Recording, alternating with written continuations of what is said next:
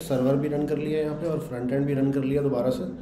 और मैं ये होम से कॉन्टैक्ट के ऊपर आ चुका हूँ। अच्छा हमने यहाँ तक कर लिया था कि यहाँ से कुछ भी लिख के एंटर करो तो यहाँ दिख जाता था ये। अब हमारा अगला काम क्या रह गया था?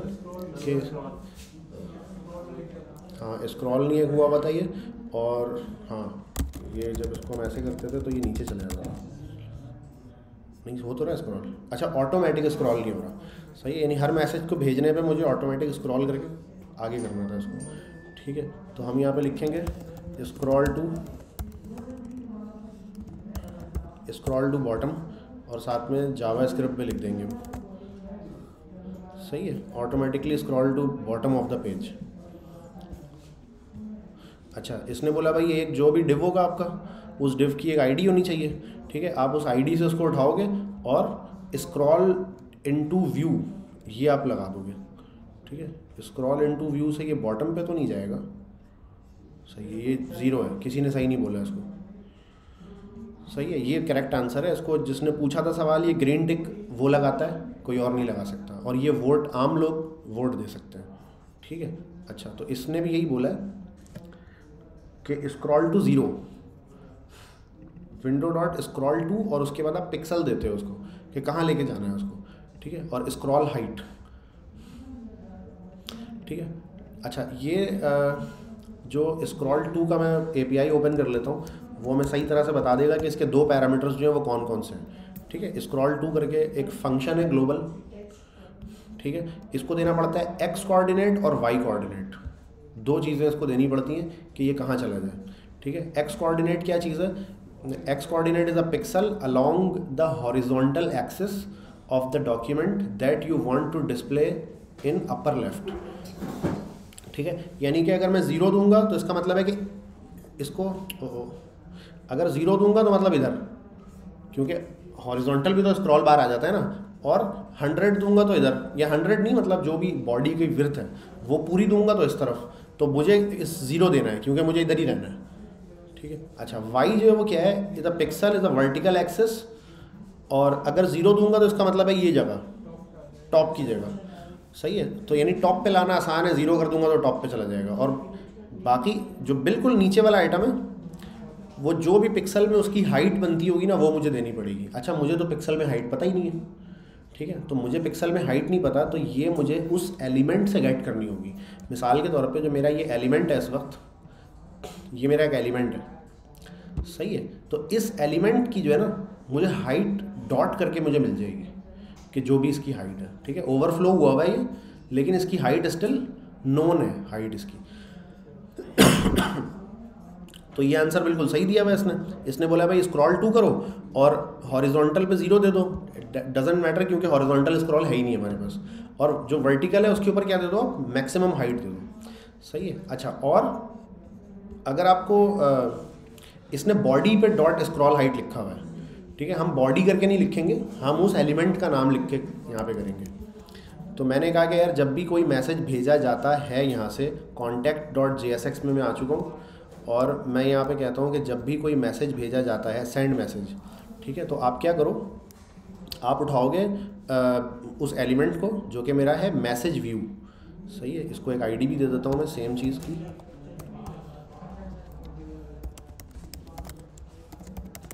सही है? मैसेज विंडो लिखा है मैंने व्यू नहीं लिखा।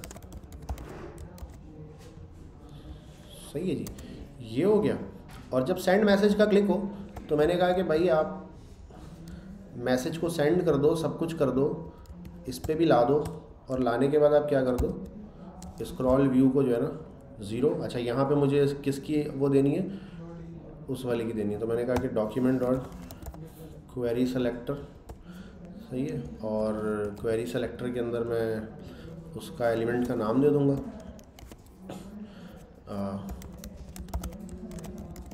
Message window dot scroll height ठीक है? ये किसी भी डॉम एलिमेंट की एक प्रॉपर्टी होती है स्क्रॉल हाइट जिसमें वो करंट हाइट दे देता है।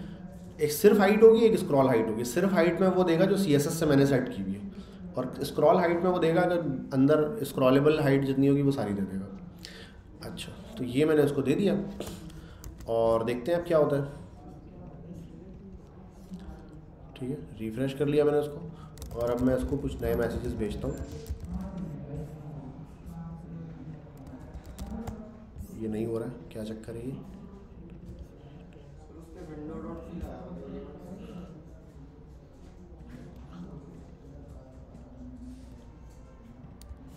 ऐसा क्यों हो रहा है? एक दफ़ा देख लेते हैं इसकी हाइट मुझे मिल भी रही है या नहीं मिल रही।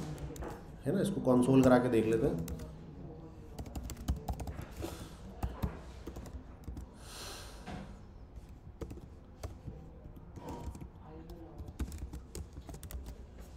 सही है, इसको कंसोल करा लिया मैंने ताकि मैं देख पाऊँ कि इसकी जब मैं हाइट गेट करता हूँ तो मुझे मिलता क्या है।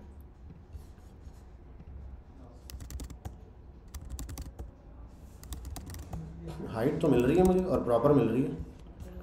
तो ये स्क्रॉल टू क्यों नहीं हो रहा फिर यार?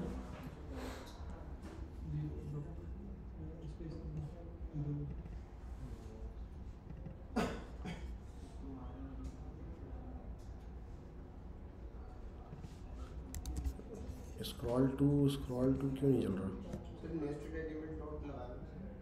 नहीं वो नेस्टेड एलिमेंट इसने इसलिए लगाया कि where you have nested element the document might not scroll okay okay मैंने विंडो डॉट स्क्रॉल लगाया मैंने गलत लगाया मैंने। मुझे विंडो डॉट स्क्रॉल लगाया मैंने तो मुझे तो इस पर स्क्रॉल लगाना है। सही है जो मेरा जो लेट मेरा जो मैसेज विंडो है ना इक्वल्स टू दिस है। ठीक है। तो मैं इसको बोलूँगा कि मैसेज विंडो डॉट स्क्रॉल ना।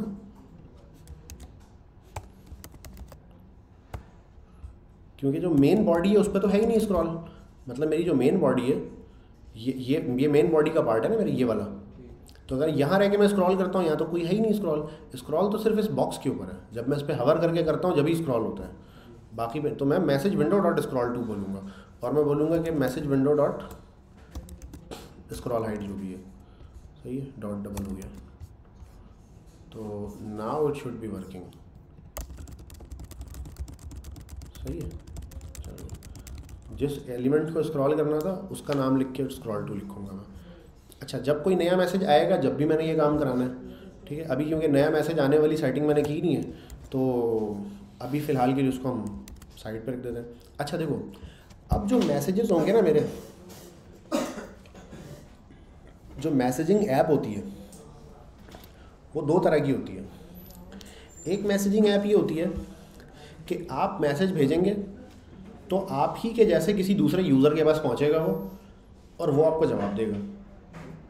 एक तो इस तरह की होती है मैसेजिंग ऐप अच्छा उसमें ये होता है कि ज़ाहिर है, जिस तरह हम यहाँ पे से सर्वर पे भेज रहे हैं इसको, एक रिक्वेस्ट अच्छा सर्वर पे हमने अभी तक भेजा ही नहीं है इसको।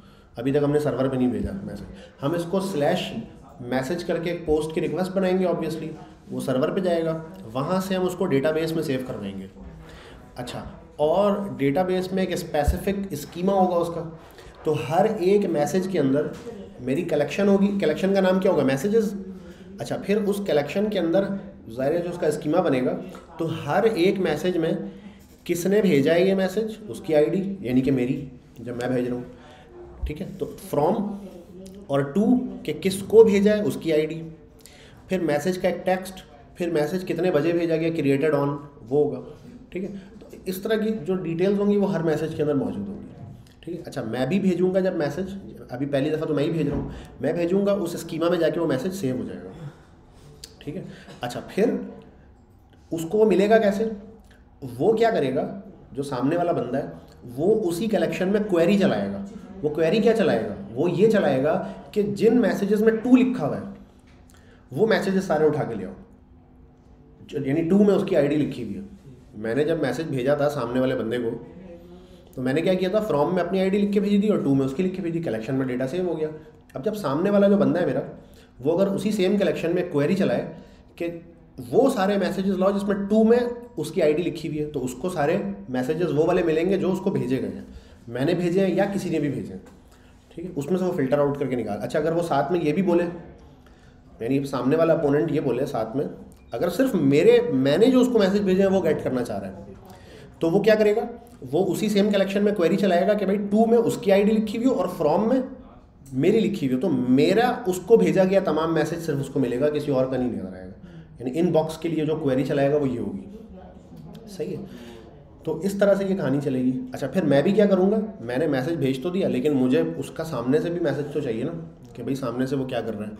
तो मैं भी उसी सेम कलेक्शन पे क्वेरी चला के मैसेज गेट करूँगा कि भाई टू में जो है मेरी आईडी लिखी हुई है तो इसका मतलब मुझे भेजा गया और फ्रॉम में सामने वाले की आईडी लिखूँगा तो वो मुझे जो जो मैसेज भेजेगा, वो मुझे मिलना शुरू हो जाएँगे।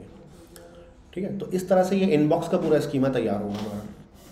अच्छा उसके बाद क्या होगा कि जैसे मैंने उसको मैसेज भेजा, उसको मिल गया। अब मैं स्क्रीन रीलोड तो नहीं कर रहा। जब वो मुझे मैसेज भेजेगा पलट के तो वो स्कीमा कलेक्शन में तो वो सेव हो गया डेटाबेस में। मुझे कैसे पता चलेगा कि वो मैसेज एक आया है मेरे लिए? मेरे पास चिड़िंग करके घंटी कैसे बजेगी? वो मेरे पास बजेगी सॉकेट के ज़रिए, ठीक है? पुश मैकेनिज्म के ज़रिए। वैसे तो मैं स्क्रीन को रिफ्रेश करूँगा तो मुझे मिल जाएगा। ज़ाहिर है वही सेम क्वेरी चलेगी। सारे मैसेज इनबॉक्स से उठ के आ जाएँगे, मुझे मिल जाएगा। लेकिन रियल टाइम में इस तरह की फिनोमिना को कहते हैं हम रियल टाइम कि बगैर पेज रिफ्रेश किए मुझे मिल जाए। ठीक है? रियल टाइम एक नई टर्मिनोलॉजी है। जो ओरिजिनल टर्मिनोलॉजी है, उसकी वो क्या है? पुश आमतौर पे हम क्या करते हैं? रिफ्रेश करते हैं जब पेज को तो हम पुल कर रहे होते हैं सर्वर से डेटा कभी भी कोई पेज लोड करते हैं या कोई कोई बटन दबाते हैं हम तो हम सर्वर से पुल करते हैं डेटा या तो पोस्ट करते हैं, या तो पुल करते हैं। ठीक है? तो ये एक क्लासिक मैकेनिज्म है जो एच रिक्वेस्ट इस तरह से चल रही होती है। ठीक है? अच्छा इसको पुल भी कहते हैं, इसको पोलिंग भी कहते हैं। ठीक है? पोलिंग भी एक टर्म इसके लिए यूज़ होती है, कहीं कहीं पे आपको लिखी भी दिख सकती है। अच्छा फिर एक होता है पुश मैकेनिज्म पुश मैकेनिज्म में क्या होता है कि मैं सर्वर से कुछ माँगता नहीं हूँ। सर्वर को मैं एक बार बोल देता हूँ कि भाई, ऐसी चीज़ जब भी आए ना तो मुझे आपने खुद बताना है। और सर्वर मुझे खुद बताता है, ठीक है? That is called push mechanism इसी वजह से जो आपके पास मोबाइल फ़ोन पर नोटिफिकेशन आती है, उसको हम पुश नोटिफिकेशन कहते हैं। सही है? पुश नोटिफिकेशन क्योंकि हमने तो नहीं मांगी ना नोटिफिकेशन खुद आती है।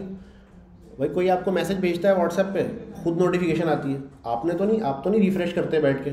या कोई ऐसा, अगर किसी के जहन में ना कि ऐसा मैकेनिज्म कि भाई हर पाँच सेकंड पे वो रिफ्रेश करता होगा सर्वर से माँगता होगा, ऐसा नहीं है। सर्वर पुश करता है वो, खुद भेजता है। ठीक है? अच्छा सर्वर कैसे भेजता है? शुरू में एक दफ़ा हम क्या करते हैं? यानी जैसे मेरा ये, मेरी मशीन है ये ये मेरी ऐप है। ये एक दफ़ा सर्वर से बात करती है शुरू में और रिक्वेस्ट जाती है सर्वर पे। अच्छा जब रिक्वेस्ट जाती है, आप शुरू में हमने डिस्कस किया था कि जो एच पे रिक्वेस्ट है वो काम कैसे करती है? काम ऐसे करती है कि यहाँ से निकलती है रिक्वेस्ट सबसे रिसेंट जो राउटर है मेरा, जहाँ, वहाँ जाती है, यानी यहाँ का वाईफाई नेटवर्क वहाँ जाती है, वहाँ से डिफरेंट राउटर्स से होती हुई उसको हम नेटवर्किंग के टर्म में नॉर्ड्स कहते हैं। तो डिफरेंट नॉर्ड से गुजरती हुई वो अपने डेस्टिनेशन तक पहुँचती है, यानी कि मेरे सर्वर तक। ठीक है, मेरा सर्वर यानी my server dot cyclic dot app है ना, ये डोमेन है। इसके पीछे कोई ना कोई मशीन है, उसकी एक आईपी है, वो मशीन कैलिफ़ोर्निया में पड़ी हुई है। तो अब वो डीएनएस सर्वर वगैरह का पूरा एक मैकेनिज्म होता है, जिसके ज़रिए वो सारा सेटअप चल रहा होता है। तो ये यहाँ से निकलता है, करीबी डीएनएस सर्वर में जाता है। उससे पूछता है कि यार ये पता पूछता है कि यार ये आपको पता है कहाँ है? अगर वो उसको पता होता है तो वो बता देता है। नहीं पता होता वो कहता है, नहीं पता मुझे। सही है तो फिर वो अगले डीएनएस को देखती है। अब ये डीएनएस सर्वर क्या होता है, वो हर प्रोवाइडर ने सेट किया हुआ होता है कि यार जो भी रिक्वेस्ट निकलेगी पहली दफ़ा, अगर उसको अता पता मालूम है तो फिर जाए। अगर नहीं मालूम है तो बताता है कि बच्चा यहाँ आप पहले पता पूछो कि कहाँ जाना है आपने। ठीक है ना? जैसे वो पोलिंग स्टेशन में आपने देखा ना, गेट पे पुलिस वाला खड़ा होता है। वो कहता है कि हाँ भाई, आयो, कमरा नंबर पता है? नहीं पता? जाओ वहाँ शामियाने से ज़रा लगवा के लाओ। अपना कमरा नंबर कौन सा। तो डी सर्वर यही करता है। तो जितने भी प्रोवाइडर है ना, इन, ये या तो अपना डीएनएस बनाते हैं, या तो किसी का बड़ा डीएनएस है ना, उसका लिख लेते हैं कि यार वहाँ से जाके करा के लाओ। ठीक है? तो अब वो अल्टीमेटली क्या होता है, वो डिफरेंट नॉड से होता हुआ वो साइक्लिक तक पहुँच जाता है। अब इस चीज़ को हम कहते हैं राउटिंग टेबल जब वो वहाँ पे पहुँचता है ना तो आपने वो बचपन में कहानी सुनी होगी कि बंदा जाता है, वो बच्चा रात को जा रहा होता है जंगल में तो वो स्टोन गिराता हुआ जाता है, ताकि मैं वापस आऊँ तो इस स्टोन को देखता देखता आ जाऊँ। तो काइंड ऑफ़ वो क्या करता है, वो हर नॉड का जहाँ जहाँ से गुजरता है, उसका एड्रेस अपने पास लिखता जाता है। कि मैं पहले इस पे आया था, फिर मैं इस नॉड पे आया था, फिर मैं इस नॉड पे आया था। तो अल्टीमेटली जब वहाँ पहुँचता तो पूरी टेबल होती है उसके पास। All possible routes that lead to that destination all possible route तो एक टेबल होती है उसके पास। उसी टेबल को देखता देखता उसने वापस आना है। यही वजह है कि जब मैं इस मशीन से रिक्वेस्ट करता हूँ तो रिस्पॉन्स यहीं आता है। कहीं और नहीं जा सकता। पॉसिबल नहीं है ठीक क्योंकि वो उसी टेबल को देखता देखता वापस आता है। तो ये तो एचटीटीपी इस तरह काम करता है कि भाई सीधा सीधा गया और सीधा सीधा वापस आया और वापस आ गया तो सर्वर से सारा का सारा ताल्लुक कनेक्शन ख़त्म। जब ये सॉकेट की रिक्वेस्ट लगती है ना अच्छा socket is another protocol HTTPS का जो प्रोटोकॉल होता है, उसका यू कैसे शुरू होता है? H T T P S colon slash slash socket का जो प्रोटोकॉल है, वो W S colon slash slash होता है। ठीक है? वेब सॉकेट अच्छा जो सिक्योर होता है, जैसे एचटीटीपी में एस लगा हुआ होता है, इसमें डब्ल्यू एस एस होता है। Web socket W S for web socket और एस फॉर सिक्योर तो डब्ल्यू एस एस होता है, अगर सिक्योर सर्वर है तो। कॉलन स्लैश स्लैश तो ये web socket is another protocol ठीक है? H T T P on the top of T C P ही ये बना हुआ है। एच टी टी पी भी क्या है? On the top of T C P बना हुआ है। अब वो टी सी पी क्या होती है? ये आप अलग से गूगल कीजिएगा, ये लंबी दास्तान है। तो अच्छा टी सी पी पे बना होने का मतलब क्या है?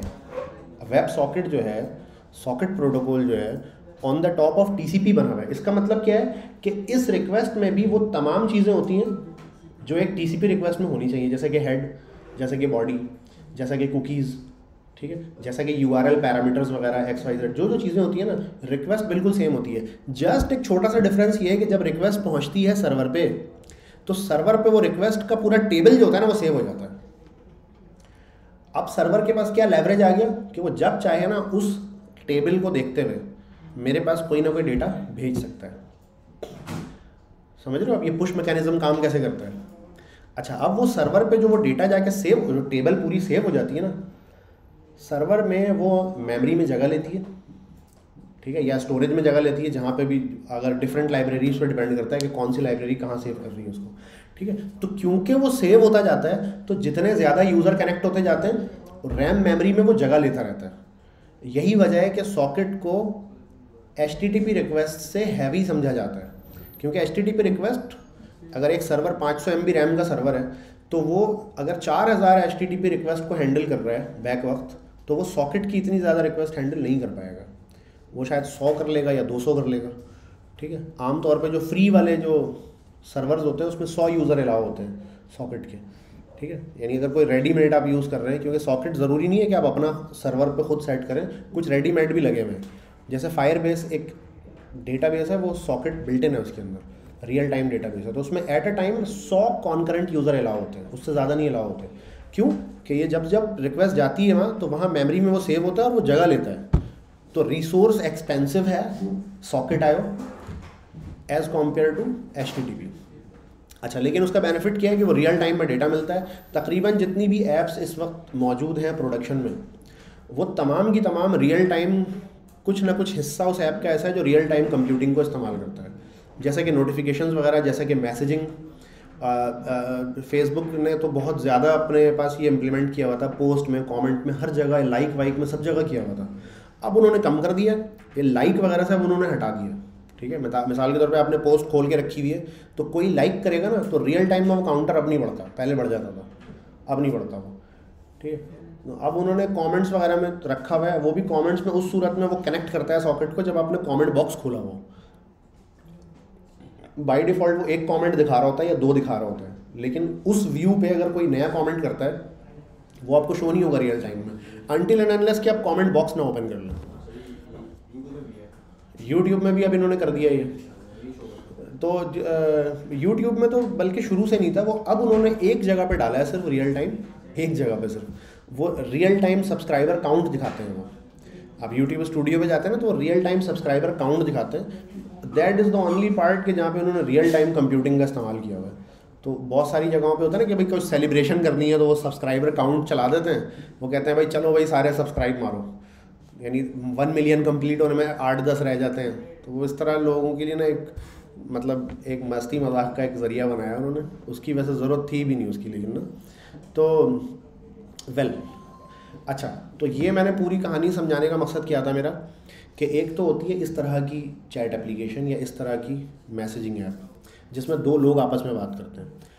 हमारे केस में हम जो मैसेजिंग ऐप बना रहे हैं इसके अंदर बंदा सामने कोई नहीं होगा सामने एक अदद मशीन होगी जो कि सामने से जवाब दे रही होगी ठीक है चैट बॉट जिसको हम कहते हैं इन शॉर्ट।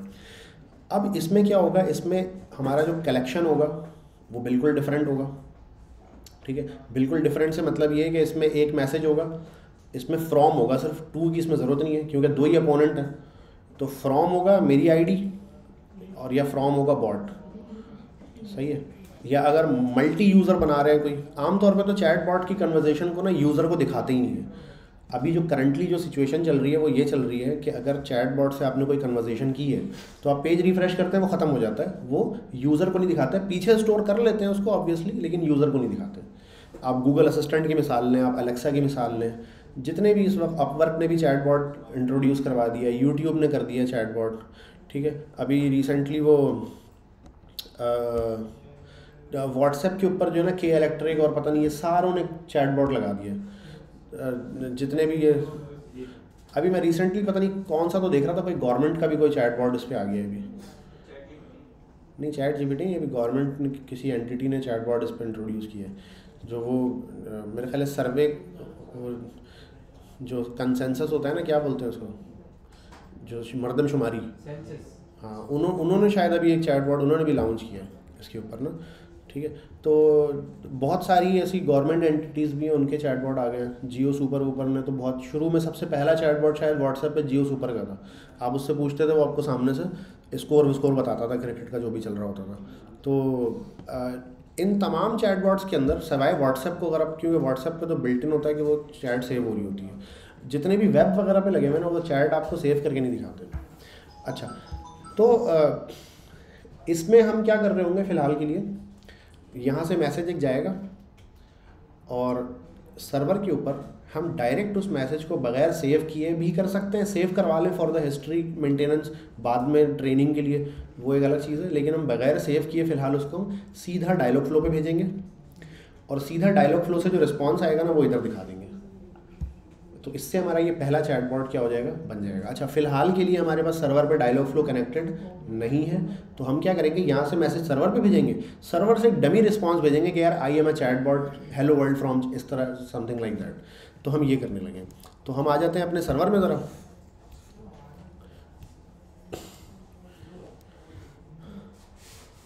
अच्छा server dot M J S ये हमने पता नहीं क्या वेदर वेदर बनाया हुआ है इसमें। अच्छा तो ये टॉप पे जो है ना मैं क्या कर देता हूँ?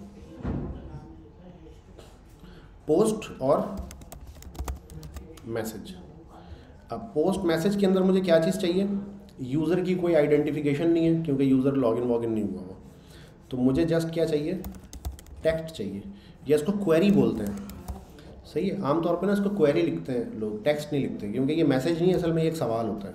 चैट बॉट से जो आप पूछ रहे होते हैं। अच्छा डिस्क्रिप्शन विस्क्रिप्शन की मुझे ज़रूरत नहीं है। ठीक है? अगर ये क्वेरी मौजूद ना हो तो मैं बोलूँगा कि यार मुझे क्या भेजो आप ये? ये क्वेरी भेजो। सही है क्वेरी में पहली क्वेरी हाई हो सकती है तो मैंने हाई लिख दिया है यहाँ पर। सही है सेल्फ डॉक्यूमेंटेड मेरी ए है रिक्वायर्ड पैरामीटर मिसिंग और बॉडी इस तरह की होनी चाहिए, ये इसने बता दिया। अच्छा प्रोडक्ट मॉडल डॉट क्रिएट करके यहाँ पे लिखा जा रहा है तो मैं प्रोडक्ट मॉडल नहीं लिखूँगा इस वक्त फ़िलहाल के लिए। मैं यहाँ पे क्या करूँगा, एक नया मॉडल बनाने की कोशिश करूँगा। मैं एक नया मॉडल बना लेता हूँ और उसमें मैं क्या लिखता हूँ? मैसेज स्कीमा मे बी अच्छा बाई द वे अगर कोई इस चीज़ में इंटरेस्टेड है कि वन टू वन चैट वाली जो एप्लीकेशन में अगर कोई इंटरेस्टेड है तो वो मैंने रिसेंटली एक बैज एट की जो वेब डेवलपमेंट की क्लास है, उसमें मैंने ये कंप्लीट करवाया रिसेंटली ठीक है? कि एक chat application one to one chat वाली विद सॉकेट आयो कैसे चलती है? ठीक है? तो वो अगर कोई उसमें इंटरेस्टेड है फ्रंट एंड बिल्कुल सेम ऐसा ही होगा। सर्वर पे थोड़ा सा मैकेनिज्म चेंज होगा कि वो जो स्कीमा एक ख़ास तरह का बना हुआ होगा, और सॉकेट आयो का जो सेटअप हुआ हुआ है तो वो थोड़ा सा डिफरेंट होगा बाकी फ्रंट एंड तो यही होगा उसमें। नहीं तीन वीडियोज़ में होगा। क्योंकि वो बिल्कुल फ्रॉम स्क्रैच है ना तो जैसे आपके भी ये सेकंड वीडियो है सेकंड आज क्लास है ये। एक में हमने पूरा वो फ्रंट एंड बनाया बेसिक सर्वर सेटअप किया। आज हम क्या कर रहे हैं फ्रंट एंड से उठा के उसको अब सर्वर पे भेज रहे हैं और डायलॉग फ्लो से इनशाला आज हम कनेक्ट कराने की कोशिश करेंगे उसको। ठीक है जी। ओके uh, क्या चाहिए था मुझे? Query Q U E R Y query query required है कोई इसमें चेंज कर दूँगा मुझे इसमें चेंज करना है ना? ओके क्वेरी एक हो गया। मुझे और क्या चाहिए? अब मुझे चाहिए कि फ्रॉम किसकी तरफ़ से? फ्रॉम में मैं स्ट्रिंग लिखूँगा। फ्रॉम यूज़र और फ्रॉम बॉट इसमें दो चीज़ होगी। ठीक है? क्योंकि मेरा यूज़र इस वक्त लॉग इन नहीं है। अगर मेरा यूज़र लॉग इन होता तो आ, मैं क्या करता और दो दो चीज़ें इसमें होना ज़रूरी है। अगर यूज़र लॉग इन होता और अगर मुझे हिस्ट्री दिखानी होती चैटबॉट की यूज़र को कि भाई जो कल उसने बात की थी वो आज भी उसको दिख रहा है पीछे हिस्ट्री में तो फिर मैं क्या करता यहाँ पे फ्रॉम और फ्रॉम के अंदर यूज़र की आईडी मेंशन करता जो उसका ईमेल या एक्स वाई जिससे भी वो लॉगिन है वो मेंशन करता और फिर टू के अंदर मैं ये लगाता कि किसको भेजा जा रहा है बॉट को भेजा जा रहा है। ठीक है फिर बॉट जो मैसेज करता वो टू में यूज़र की आईडी लिखता और फ्रॉम में बॉट लिखता। तो ये वाला मैकेनिज्म होता। है वेल अगर आप, मैं आपको बल्कि वो थोड़ा सा स्कीमा दिखाता हूँ कि वो कैसे स्कीमा है। बजट में क्या गया बजट मैं वो स्कीमा आपको थोड़ा सा दिखाता हूँ, वो किस तरह का दिख रहा होता है। ठीक है? वो कुछ इस तरह का दिख रहा होता है। ठीक है? कि फ्रॉम और फ्रॉम के अंदर ये ऑब्जेक्ट आईडी होगा यूज़र्स में से ही कोई होगा। ठीक है? टू टू में भी ऑब्जेक्ट आईडी होगा और वो यूज़र्स में से ही कोई होगा। दो बंदे क्योंकि आपस में बात कर रहे हैं। टेक्स्ट होगा साथ में इमेज यू है और साथ में क्रिएटेड ऑन है ठीक है? ये ये रेफ ये असल में जब आप मिसाल के तौर पे ये फ्रॉम है ना तो फ्रॉम में एक ऑब्जेक्ट आईडी है। इसका मतलब ये है कि ये इस आईडी से डेटाबेस में एक डॉक्यूमेंट मौजूद है। ठीक है? तो इसलिए मैं बता रहा हूँ कि इसकी जो टाइप है ना वो क्या है? वो ऑब्जेक्ट आईडी है और ज़ाहिर है ऑब्जेक्ट आईडी है तो फिर किस कलेक्शन के अंदर ये मौजूद है? तो मैं बता रहा हूँ यूज़र्स के कलेक्शन में मौजूद है। इसका बेनिफिट ये होता है कि जब मैं क्वेरी चलाता हूँ, मिसाल के तौर पर जब मैं मैसेज स्कीमा पर क्वेरी चलाऊँगा, मैं कहूँगा, यार, वो तमाम मैसेज ले जिसमें टू में मेरी आईडी है, यानी मुझे भेजे गए मैसेज लेकर आओ। तो मैं साथ में क्या बोलूँगा? डॉट पॉपुलेट और डॉट पॉपुलेट करके बोलूँगा फ्रॉम तो फ्रॉम के अंदर जो ये ऑब्जेक्ट आईडी है ना, ये रिप्लेस हो जाएगी एक्चुअल ऑब्जेक्ट से। ठीक है? इसका मतलब ये होगा कि जब हर एक मैसेज में फ्रॉम में ना पूरा ऑब्जेक्ट मिलेगा मुझे। यानी dot first name dot last name करके बकायदा मुझे नाम। क्योंकि ज़ाहिर है मैसेज में मुझे नाम भी दिखाने होते हैं साथ में। ठीक है तो इसको हम कहते हैं पॉपुलेशन अच्छा इस पॉपुलेशन को भी करना है या नहीं करना है, इस पर एक डिटेल्ड डिस्कशन हुई थी इसी क्लास में, जो बैच एट वाली जो क्लास है। ठीक है, कि ये पॉपुलेशन क्या चीज़ है, क्यों इसको लगाना चाहिए, क्यों इसको नहीं लगाना चाहिए। अभी जो जदीद अप्रोच है, इसमें इसका अपोजिट करते हैं। इसको हम कहते हैं डी डी पॉपुलेशन तो नहीं बोलते उसको डी नॉर्मलाइजेशन बोलते हैं, ठीक है? अगर डेटा बेस का एक टॉपिक होता है, अगर यूनिवर्सिटी में पढ़ा हो किसी ने तो उसको हम कहते हैं नॉर्मलाइजेशन ठीक है? ज़रूरी नहीं है यूनिवर्सिटी में अलग से भी गूगल कर सकते हो। तो सीक्वल वगैरह के ज़माने में ना, पुराने ज़माने में जब डेटाबेस को डिज़ाइन किया जाता था, उसके कितने टेबल्स होंगे, कैसे डेटा सेट होगा, कैसे गेट होगा, कैसे तो उसमें एक नॉर्मलाइजेशन एक टेक्निक होती थी, जिससे डेटाबेस का साइज़ रिड्यूस किया जाता था। ठीक है? तो नॉर्मलाइजेशन उस वक्त की ज़रूरत थी, उस वक्त स्टोरेज मीडियम कॉस्टली था। लेकिन अब स्टोरेज मीडियम उतना कॉस्टली नहीं रहा है। अब हमारे पास प्रोसेसिंग पावर कॉस्टली हो गई है और प्रोसेसिंग पावर क्रिटिकल हो गई है। टाइम क्विक चाहिए हर बंदे को। तो हम ये वाला काम ना अब नहीं करते जदीद एप्लीकेशन में। हम इसमें अपोजिट करते हैं डी नॉर्मलाइजेशन जिसमें हम क्या करते हैं डेटा को डुप्लीकेट करते हैं। ठीक है? तो ये एक डिटेल डिस्कशन हुई थी, उसमें वो उसको अगर चाहें तो आप वो भी सुन सकते हैं। अच्छा अब इस पर क्वेरी जो लगी थी, वो कैसी लगी थी, वो भी दिखा देता हूँ वन टू वन अगर चैट की अगर हम बात करें तो। ठीक है, देखो गेट मैसेजेस करके है। नहीं, ये वाला नहीं।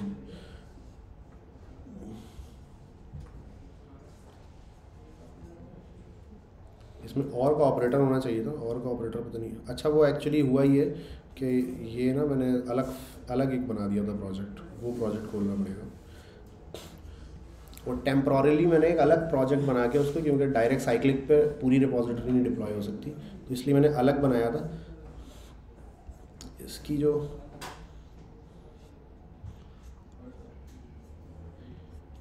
ये है इसकी क्वेरी ठीक है? देखो, इसमें दो कंडीशन लगी हुई है, कि फ्रॉम में मेरी हो और टू में सामने वाले की हो, या टू में सामने फ्रॉम में सामने वाले की हो टू में मेरी हो। यानी मैंने जो उसको भेजा और उसने मुझे भेजा दोनों। तो ये और का ऑपरेटर लगा के ना दो क्वेरीज एक साथ लगी हुई है इसमें कि भाई इन दोनों में से कोई भी मैच हो जाए तो वो मैसेज हमें चाहिए। ठीक है? तो ऐसे करके ये और करके क्वेरी लगेगी इसकी। वन टू वन अगर बात हो रही है। डॉट पॉपुलेट इस तरह करके लगेगा। ये कोड लिखा हुआ है सामने। ठीक है? और लिमिट मैंने की है कि भाई वन हंड्रेड मैसेजेस लाने उससे ज़्यादा नहीं लाना। ये टॉपिक है पैजिनेशन का। ठीक है? पैजिनेशन हमने यहाँ पे शायद कवर की है थोड़ी सी हमने। नहीं कवर किया। वेल पैजिनेशन ये होता है कि मतलब पहली पेज पे मुझे कितना चाहिए? ज़ाहिर है अनलिमिटेड रिज़ल्ट तो नहीं गूगल सर्च करते हैं, पहले पेज पे पचास रिज़ल्ट आते होंगे बहुत ज़्यादा।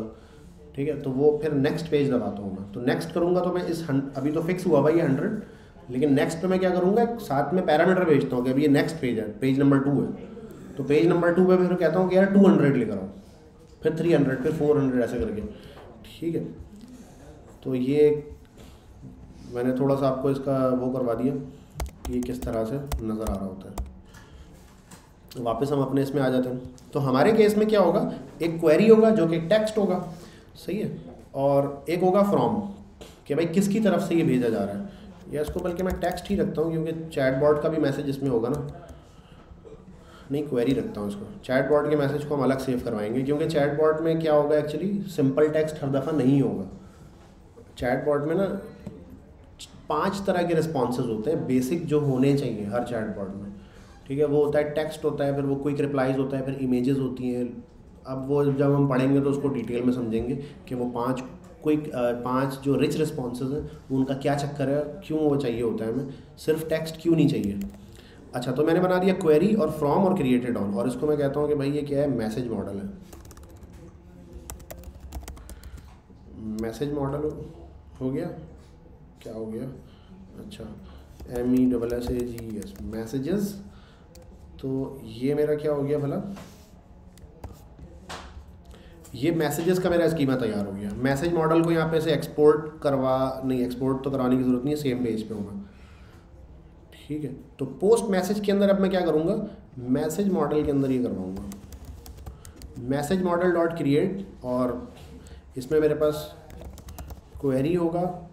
बॉडी डॉट क्वेरी और मैं इसमें फ्रॉम लिखूँगा कि भाई फ्रॉम यूज़र ठीक है क्रिएटेड ऑन वो खुद बना लेगा। सही, यही तीन चीज़ें थी मेरे पास। यार फ्रॉम का कलर क्यों चेंज हुआ है? पता नहीं क्यों हुआ अच्छा ये डॉट देन वाले को हटा के हम ज़रा ए सिंक लगा लेते हैं। ठीक है ए सिंक हम यहाँ पे कवर कर चुके हैं। ठीक है ए सिंक लगाने के लिए मुझे क्या इसमें एरर क्यों आ रहा है भाई? हाँ ये एक्स्ट्रा लग गया है। अच्छा तो इसको मैं बना दूँगा ए सिंक सही है और बस ए सिंक ये वंस बन गया तो फिर मुझे क्या करना होगा? फिर मैं बोलूँगा कि लेट सेव्ड यानी जो मुझे अब कॉल बैक में मिलता था ना वो मुझे यहाँ मिला करेगा। इक्वल्स टू अवेट सही है। और ये कॉल बैक में पूरा का पूरा यहाँ से कट कर लूँगा। कॉल बैक की मुझे अब ज़रूरत नहीं है। और कॉल बैक की जगह मैं क्या लगाऊँगा? डॉट एग्जीक्यूट सही है कि इस क्वेरी को? क्वेरी को एग्जीक्यूट करूँ। सही है। और एग्जीक्यूट करने के बाद मुझे नीचे जो है, ये सेव्ड वाला जो आइटम था, ये मुझे नीचे वैसे ही मिल रहा होगा। ठीक है।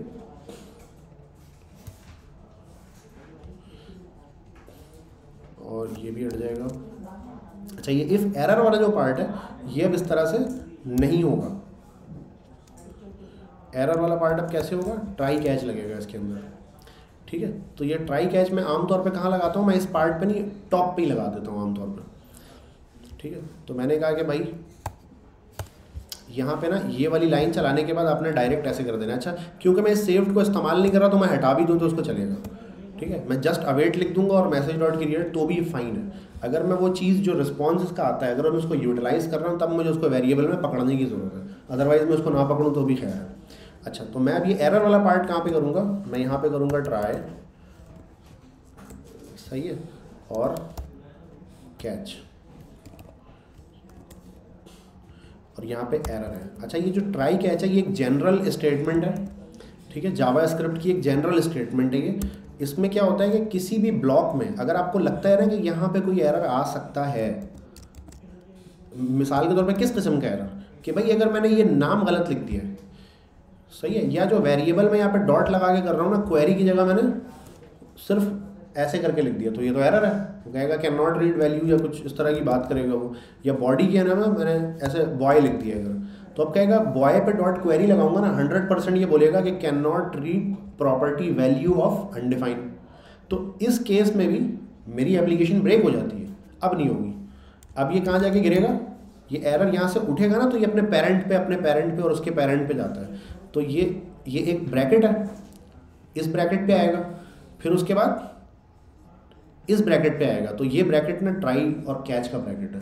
तो यहाँ से इसको उठा के फेंकेगा सीधा कैच में। तो कोड मेरा ब्रेक नहीं होगा। सर्वर मेरा चलता रहेगा और यहाँ पे ये वाला पार्ट चल जाएगा। ठीक है? अब इमेजिन करोगे इस पार्ट में कोई एरर हो जाए तो। अगर इस कैच के पार्ट में कोई एरर हो जाए फिर? अगर कैच के पार्ट में कोई एरर हो जाएगा तो ये क्या करेगा? ये फिर उस एरर को अपने पेरेंट को थ्रो करेगा। अगर इस ट्राई कैच के पेरेंट के पेरेंट के पेरेंट में कोई बड़ा ट्राई कैच होगा ना और तो वहाँ जाके गिरेगा फिर ये। और अगर उसके भी कैच में एरर आ गया, या वो नहीं हुआ तो वो एप्लीकेशन से बाहर निकल जाएगा। एप्लीकेशन से बाहर जब वो निकलेगा तो वो मिलेगा गूगल क्रोम को।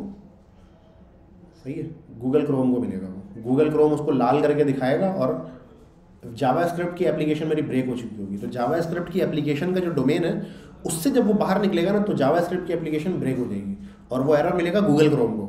अब इमेजिन करो कि गूगल क्रोम में भी कोई एरर हो जाए। तो वो गूगल क्रोम के डोमेन से जब बाहर निकलेगा एरर तो वो मिलेगा ऑपरेटिंग सिस्टम को और गूगल क्रोम क्रैश हो जाएगा। समझ? होता है ना गूगल क्रोम क्रैश होता है स्टॉप वर्किंग लिखा हुआ आ जाता है। बिल्कुल पॉसिबल है Google Chrome itself is a software तो मेरी एप्लीकेशन ब्रेक होती है और यहाँ से एरर ऐसा एरर निकलता है जो गूगल क्रोम भी उसको हैंडल ना कर पाए।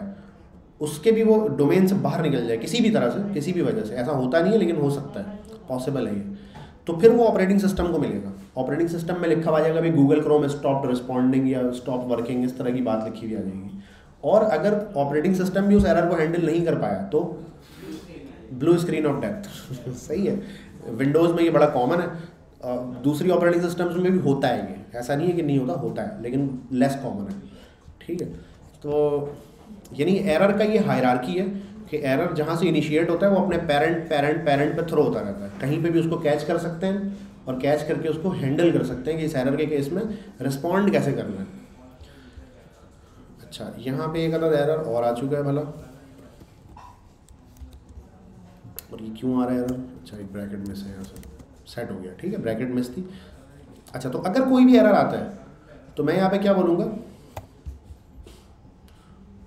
अच्छा ये मैंने अपोजिट कर दिया, इधर जो करना था वो उधर कर दिया।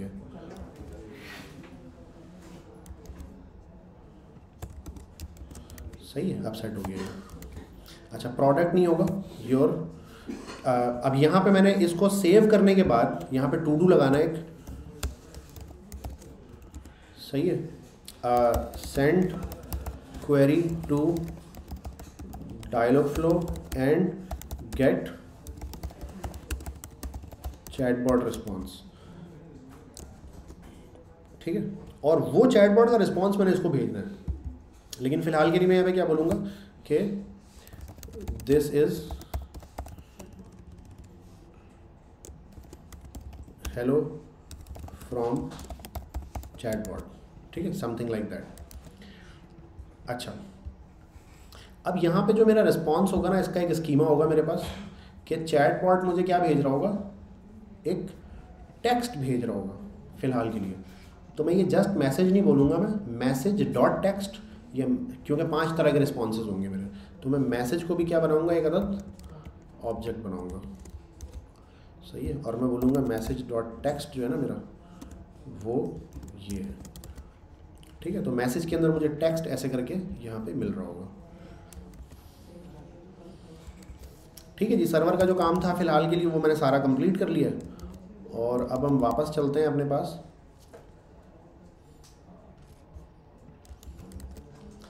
वापस चलते हैं अपने फ्रंट एंड पे। हम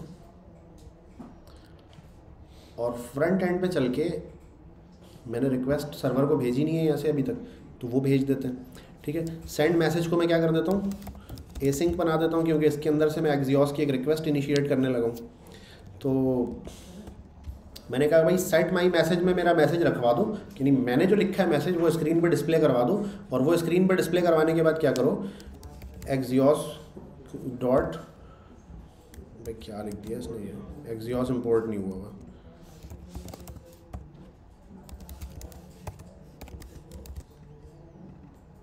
ठीक है एक्जियोस से मुझे क्या करना है? पोस्ट करना है एक्चुअली सही है तो मैंने पोस्ट डायरेक्ट यहाँ से पकड़ लिया। तो मैं अब क्या करूँगा? मैं एक्जियोस डॉट पोस्ट लिखने के बजाय डायरेक्ट पोस्ट लिख दूँगा।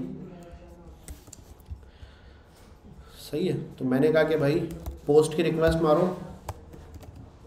और पोस्ट में सबसे पहले मैं लिखता हूँ यू यू आर एल मेरा इनिशिएट हुआ हुआ यहाँ पे। चलो हार्ड कोडेड लिख देता हूँ। Localhost colon colon five double zero one पे ना मेरी रिक्वेस्ट सर्वर मेरा हाँ फाइव डबल ज़ीरो वन पे सर्वर है। सही है कॉमा अब मुझे साथ में बॉडी भेजनी है। बॉडी में मैंने क्या एक्सपेक्ट किया हुआ है? क्वेरी एक्सपेक्ट किया हुआ है। ठीक है? अच्छा यहाँ से जस्ट मैं क्वेरी भेजूँगा। सर्वर पे जो मैंने ये लिखा हुआ है ना कि भाई आ, आ, क्या लिखा हुआ है मैंने यहाँ पे? फ्रॉम यूज़र वो हार्ड कोडेड लिखा हुआ है मैंने। क्योंकि जब भी ये रिक्वेस्ट हिट करेगा यूज़र ही करेगा। यूज़र के अलावा कोई नहीं करेगा। तो फ्रंट एंड से जस्ट मुझे क्वेरी देनी है यूज़र यहाँ पे फिक्स्ड है। तो मैंने जस्ट क्वेरी यहाँ पे से लिखी। हाई तो नहीं लिखी जो यहाँ से मैसेज बंदे ने लिखा था वो न्यू मैसेज ये वाला ना। न्यू मैसेज यहाँ से मैंने भेज दिया। क्वेरी पे। अच्छा अब मुझे इसका रिस्पांस मिलेगा ऑब्वियसली कैसे मिलेगा रिस्पांस वेट और ज़ाहिर है यहाँ से मैं लेट रिस्पॉन्स इक्वल्स टू ऐसे करके लिखूँगा। अब मुझे क्या मिलेगा? रिस्पॉन्स डॉट डेटा एक्सियोस में डॉट डेटा करके मिलता है। डॉट मैसेज डॉट टेक्स्ट सही है? तो इस तरह करके मुझे वो रिस्पॉन्स वहाँ से मिल रहा होगा। इस पर मैं नॉलिश ऑपरेटर लगा देता हूँ। सर्वर का रिस्पॉन्स है क्योंकि और इसको मैंने कहाँ पे सेट करवाना है? इसको मैंने इसी सेट मैसेज के अंदर सेट करवाना है। और न्यू मैसेज की जगह मैंने ये ये लगाना है ऐसे। नहीं। सही है? ऐसे नहीं लगाना मैंने इसको। इसको मैंने लगाना है। अच्छा ये एक्चुअली मैंने ना अभी जो बनाया है इसको मैसेजेस को, वो एक प्लेन एरे बनाया है। जबकि ये प्लेन एरे नहीं होगा, ये एक ऑब्जेक्ट ऑफ़ एरे होगा। एरे ऑफ़ ऑब्जेक्ट होगा। क्योंकि उसमें हर मैसेज के साथ लिखा होगा ना कि किसकी तरफ़ से भेजा जा रहा है। एंड ऑन मतलब डिपेंडिंग ऑन ऑफ़ दैट की कि वो मैसेज किसकी तरफ़ से भेजा जा रहा है, मैं कुछ को राइट या कुछ को लेफ़्ट करके दिखाऊँगा। ठीक है? तो अब मैंने क्या करना है? यहाँ पे भी इसको प्लेन सेव नहीं करवाना है। यहाँ पे मैं इसको एज ऑब्जेक्ट सेव करवाऊँगा, जिसमें मैं क्या लिखूँगा? मैं लिखूँगा भाई टेक्स्ट जो है सही है, बल्कि इसको मैं हाँ चलो टेक्स्ट कर देते हैं। पाँच तरह के मैसेज होंगे, एक उसमें से टेक्स्ट है तो मैं कहूँगा टेक्स्ट जो है वो ये न्यू मैसेज है, और ये क्या है? फ्रॉम यूज़र है ये। सही है फ्रॉम यूज़र हो गया। तो मुझे की मिल रही है यहाँ पे फ्रॉम यूज़र अब यही वाली सेम चीज़ मैं यहाँ पे जब करूँगा तो मैं इसमें क्या बोलूँगा कि ये फ्रॉम क्या है? बॉट है ये। ठीक है फ्रॉम बॉट कर दिया मैंने उसको। अच्छा फ्रॉम बॉट में जो मुझे चीज़ मिल रही है, जो न्यू मैसेज वो इस तरह करके मिल रहा है मुझे राइट अच्छा देखते हैं इसको भी क्या रिपोर्ट है इसकी। इसमें ना एक प्रॉब्लम आ सकती है ऑब्वियसली आएगी वो प्रॉब्लम क्या कह रहा है ये? Imported post was not found in Axios क्या बोल रहा है ये?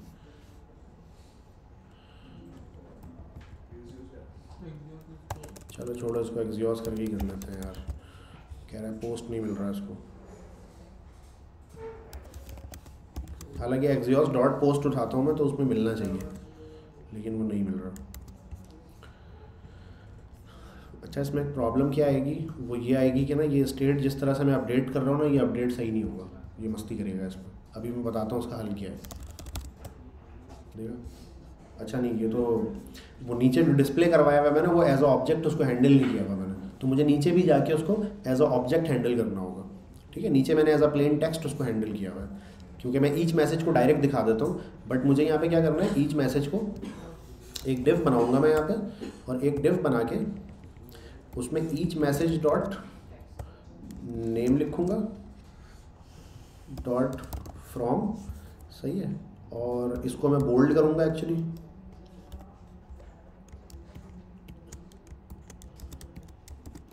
सही है। ऐसे बोल्ड में लिखा हुआ होगा कि किसकी तरफ़ से है मैसेज और साथ में ये लिखा हुआ होगा कि जो है ना मैसेज क्या है actually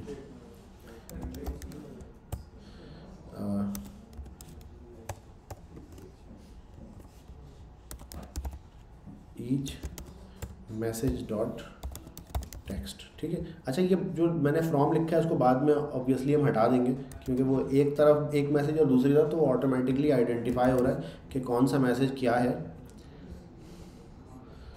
सही है? यार, ये खुद से जो लिखे हुए आ रहे हैं, ये कैसे आ रहे हैं? अच्छा ये मैंने ऊपर जो लिखा हुआ है ना, ये तो इसकी ज़रूरत नहीं है मुझे बाई द है ना? अच्छा इसमें मैंने क्लास नेम जो अटैच किया हुआ है, एक में लेफ़्ट किया हुआ है, एक में अच्छा राइट मैंने बनाया नहीं है, सिर्फ़ लेफ़्ट बनाया राइट तो बाई डिफ़ॉल्ट था वो। तो ये इस, इसको मैं हटा दूँगा। इसकी मुझे ज़रूरत नहीं है। जो पहले से मैसेजेस मैंने लिख के रखे हुए थे, ये जो मैप के ज़रिए डिस्प्ले होते हैं that is the only message I am looking for सही है, ये शुरू में जो लिखे हुए आते थे, ये नहीं होंगे। मैंने यहाँ से कुछ भी लिख के भेजा। अभी रिस्पॉन्स क्यों नहीं आया भाई?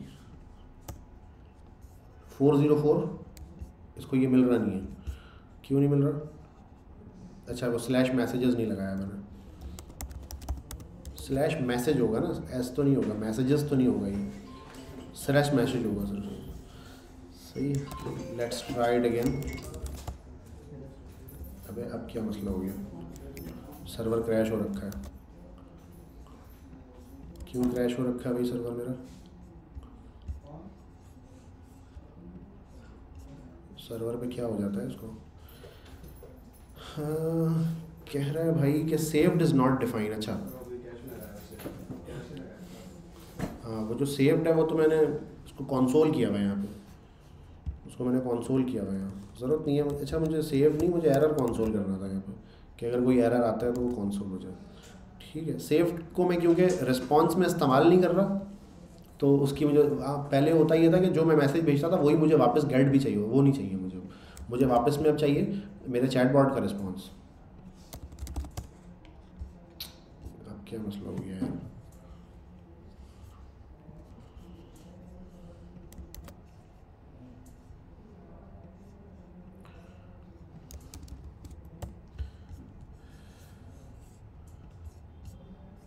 show.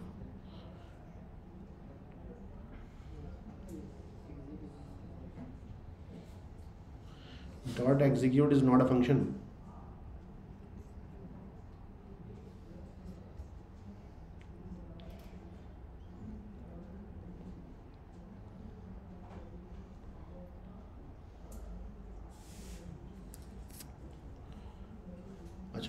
Create जो है, वो कह रहा है कि वो इट्सल्फ एक प्रॉमिस दे देता है। तो डॉट एग्जीक्यूट की ज़रूरत नहीं है हमें। ये कह रहा हैं। हाँ यही कह रहा है। कह रहा है भाई डॉट क्रिएट की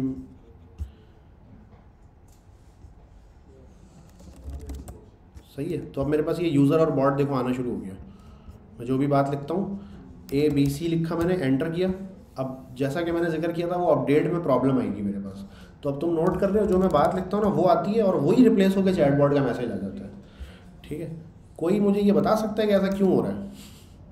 किसी को कुछ आइडिया हो कि ऐसा क्यों हो रहा है? मतलब यहाँ पे मैंने एक स्टेट चेंज की है फिर मैंने रिक्वेस्ट मारी है फिर रिस्पॉन्स आने के बाद यानी एक से डेढ़ सेकंड बाद फिर मैंने ये दूसरी स्टेट अपडेट की है। डिव क्या? नहीं मैं मैं तो एक नया स्टेट में एक नया आइटम पुश कर रहा हूँ ना। स्टेट में वो, ये स्टेट वाली चीज़ है। वो नीचे तो मैंने उसमें वो नहीं लगाया, तुम सही कह रहे हो, चलो लगा देता हूँ वो मैं। एक में लेफ़्ट बलून है ना तो मुझे लेफ़्ट बलून को कंडीशनल करना है राइट तो मैं यहाँ पे क्या करूँगा? जो रिटर्न है ना मेरा, इसको मैं कंडीशनल बना दूँगा। मैं कहूँगा कि भाई इफ़ सही है। मैं कहूँगा if each message dot from equals equals अगर है बॉट सही है? तो ये वाला काम करो आप। ठीक है? लेफ़्ट कर दो बलून को। यानी कि ऐसा वाला कर दो। ठीक है? और मेरे मैसेजेस राइट पर आएँगे। व्हाट्सएप में भी ऐसा ही होता है। और मैं कहूँगा कि भाई एल्स इसमें चलो ब्रैकेट लगा देता हूँ। हालाँकि ज़रूरत नहीं है ब्रैकेट की, लेकिन मैं लगा देता हूँ। और मैं कहूँगा एल्स यही वाली सेम डिव डिस्प्ले करो। अच्छा अभी ऐसा लग रहा होगा कि शायद ये तो कोड डुप्लीकेशन हो रही है। क्योंकि ये दोनों एक जैसे डिव है बिल्कुल। कि भाई अगर बॉट का मैसेज है तो मैं बिल्कुल अलग से हैंडल कर रहा हूँ, यूज़र का तो बिल्कुल अलग से, कोड डुप्लीकेशन लगे। लेकिन अल्टीमेटली ये बॉट वाला जो पार्ट है ना, ये काफ़ी बड़ा और लंबा चौड़ा होने वाला है, ठीक है? और यूज़र का ये इतना सही रहेगा। तो मैं ये लेफ़्ट बलून हटा देता हूँ मेरे वाले मैसेज में से। ठीक है? तो अब ये इस तरफ़ और उस तरफ़ का सीन इसका ऑन हो जाएगा। लेकिन अब, अभी भी देखो क्या हो रहा है। पहले मेरा मैसेज आता है, लेकिन मेरा मैसेज आके जो है ना फिर कभी कभी हो भी जा रहा है देखो। कभी कभी आ भी जा रहा है यूज़र लिखा हुआ लेकिन उसका क्योंकि कलर शायद वाइट हुआ हुआ है इसलिए उसका कलर मुझे नहीं दिख रहा। अच्छा नहीं वो टेक्स्ट ही एम है। वेल कुछ होगा मसला जिसकी वजह से ऐसा हो रहा है। ठीक है लेकिन असल प्रॉब्लम ये कि ये अपडेट क्यों नहीं करने दे रहा मुझे सही? किसी को आइडिया है कुछ? एक ही बार में दो बार सेट हो रहा है अच्छा एक ही बार में तो नहीं हो रहा एक दफ़ा ये पूरा चल जा रहा है उसके बाद ये रिक्वेस्ट जा रही है उसके बाद ये पूरा चल जा रहा है। तो ये वही मैसेज है जो ऊपर है नहीं। ऊपर वाले मैसेज नहीं आ रहे? नहीं ये तो माई मैसेज जो मैंने लिखा था शुरू में तो ये है M T M T array तो माई मैसेज यहाँ पे एम टी था लेकिन जब यहाँ पे ये माई मैसेज मिलेगा तो इसमें तो मुझे जो एक आइटम ऐड हो गया वो मिलना चाहिए तो उसके आगे पुश करना चाहिए।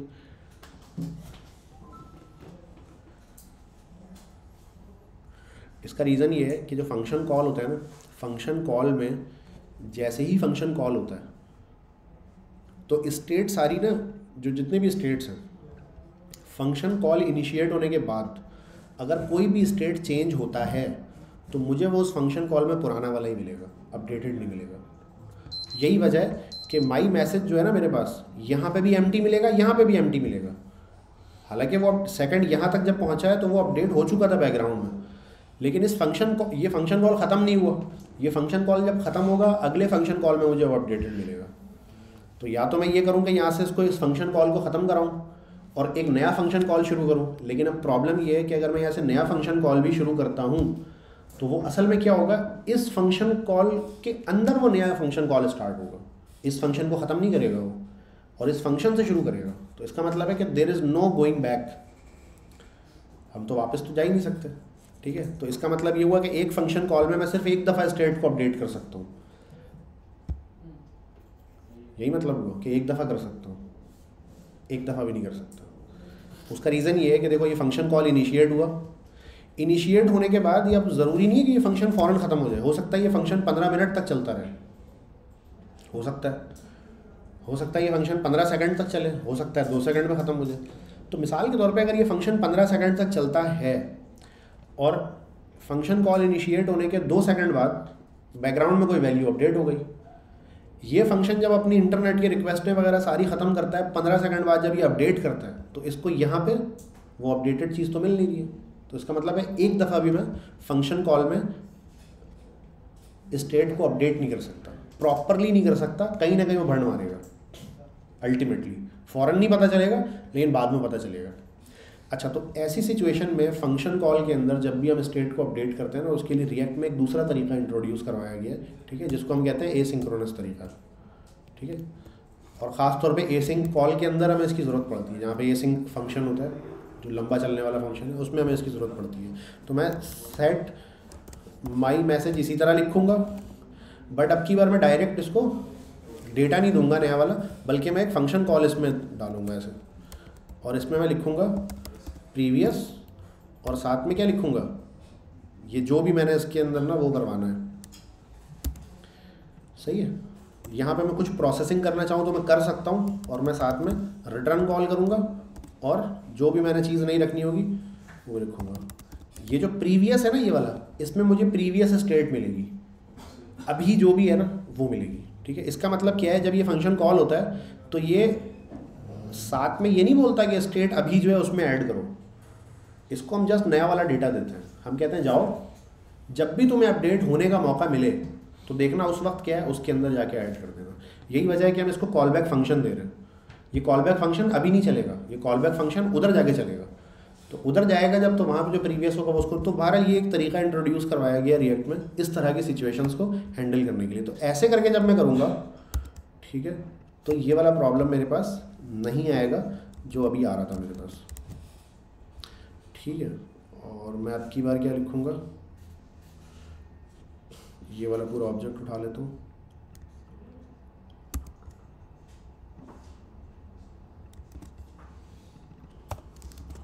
सही है।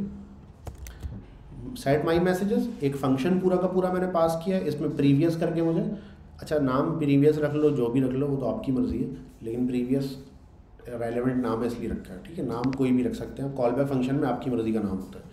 और रिटर्न करके मैंने कहा कि भाई प्रीवियस में तमाम वैल्यूज़ जो है वो रखो, उसके बाद ये वाला एक ऑब्जेक्ट जो है इसमें ऐड कर दूँ। ठीक है? तो आते हैं और देखते हैं कि क्या रिपोर्ट है। सही है? ये देखो बिल्कुल सेट हो गया। अब ये यूज़र का मैसेज अलग दिखा रहा है और ये वाला अलग दिखा रहा है। अब ये राइट क्यों नहीं हुआ? क्लास मैंने बनाई भी राइट की। राइट बलून चलो राइट बलून इसमें अलग से मेंशन करना पड़ेगा। ठीक है, मैंने कहा भाई राइट बलून अब अब हाँ सही है, अभी सेट हो गया। राइट बलून का हमने कलर चेंज रखा है और लेफ़्ट का कलर चेंज रखा है। ठीक है जी तो अब हमारे पास ये कुछ मैसेजिंग ऐप जैसी शक्ल निकल के आना शुरू हो गई है इसकी। ये फ्रंट एंड का काम याद है हमारा? कंप्लीट हो गया। ठीक है। अच्छा तो इसमें हमारे पास और कुछ रह तो नहीं गया?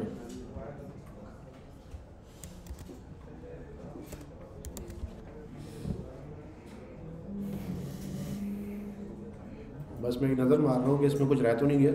उसके बाद फिर हम क्या करेंगे? इंट्रोडक्शन टू डायलॉग फ्लो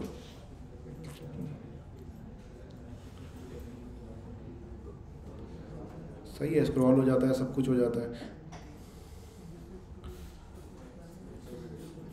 अच्छा ये जो स्क्रॉल है ना, ये मुझे शायद दो दफ़ा चलवाना चाहिए। ये वाला प्रॉब्लम अभी होगा कि एक दफ़ा मैसेज में ये स्क्रॉल नहीं होगा, या अगले मैसेज पे स्क्रॉल होगा।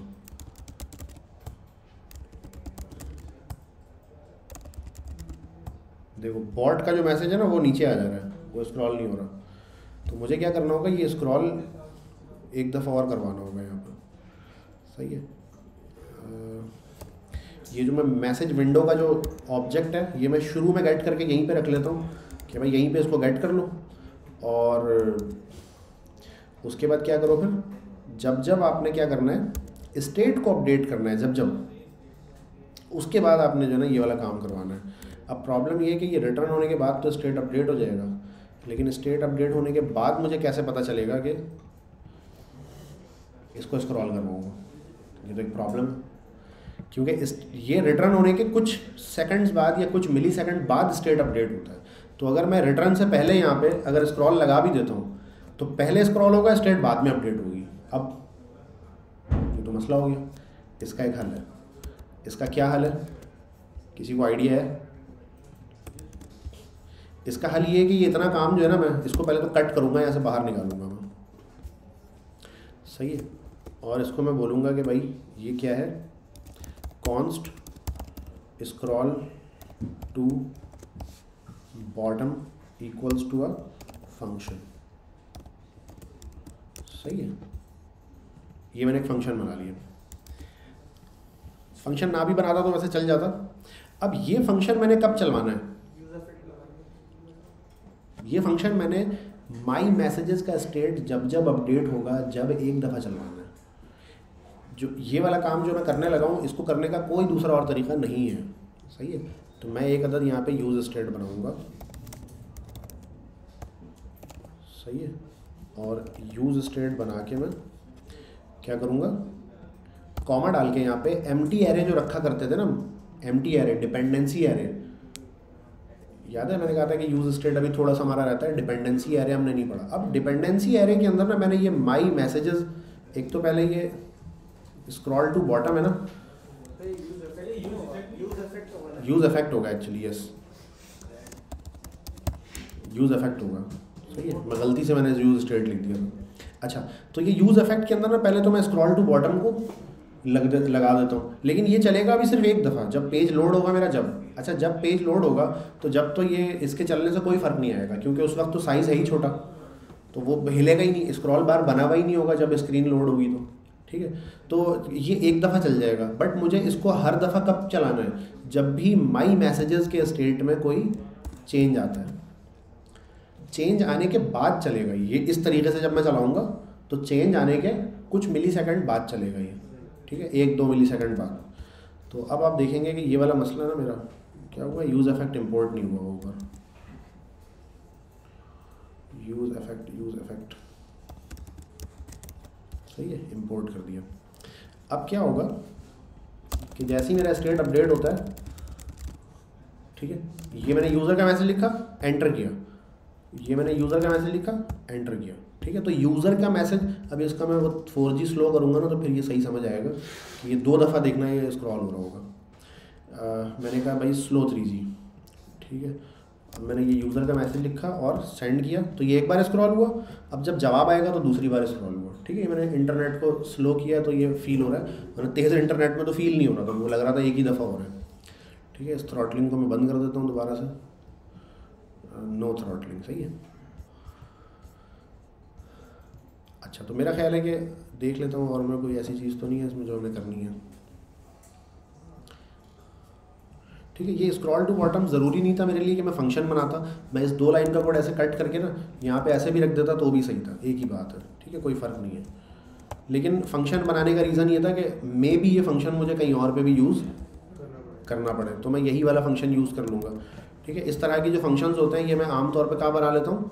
अपने जो रिड्यूसर होता है ना वहाँ पे मैं ये बना के रख लेता हूँ समटाइम या मैं स्टेट के अंदर इसको बना लेता हूँ। कोई ऐसी जगह मैं बना लेता हूँ, जैसे स्क्रॉल टू बॉटम के जो मुझे हर जगह मिले। लेकिन ये स्क्रॉल टू बॉटम जो है ना this scroll to bottom is specific to this component क्योंकि इसके अंदर मैसेज विंडो को स्क्रॉल टू बॉटम हो रही है, ठीक है?